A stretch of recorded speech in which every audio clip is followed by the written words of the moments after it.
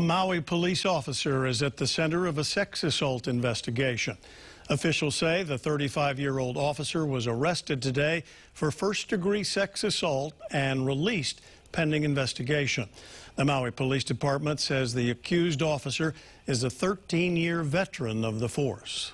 I want to reassure the public that any criminal wrongdoing by any of my employees will not be tolerated.